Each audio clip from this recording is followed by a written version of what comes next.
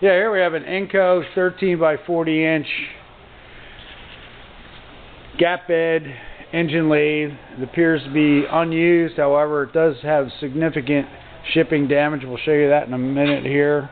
I just want to show you that the machine does run.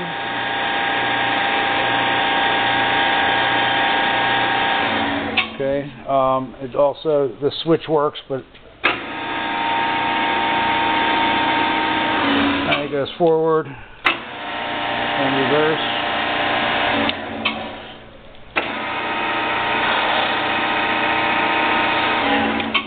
Okay, we just want to say also that the uh, the speed controls don't quite work all that well. Um, it's a little. I think there was a little hit right here somewhere, and um, your threading dials. There's a little problem right there. Um, I can't get this this upper screw to turn right here. Uh, the bottom one here turns.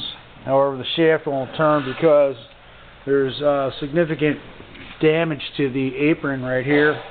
Um, this whole this got hit right here. All right, so this doesn't move at all, and it cracked the housing.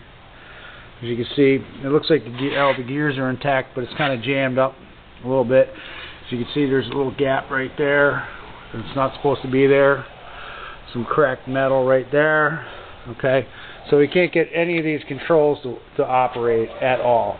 Okay, uh, the top portion does move. Okay. Tailstock is okay.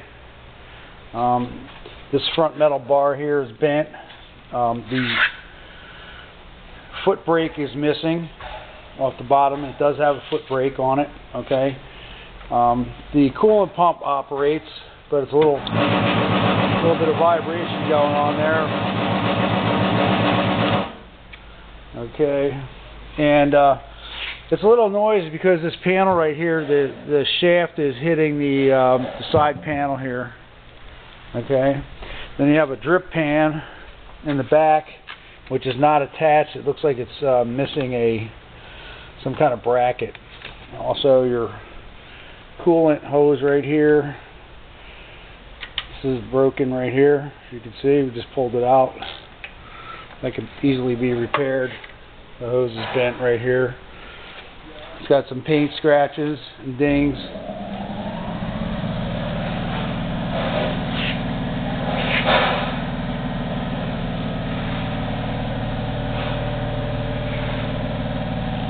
A little bit of gear oil leaking out of here. So th these components just may need to be adjusted or possibly repaired. Uh, this this electrical panel right here, this is loose. And we thank you for looking at our product.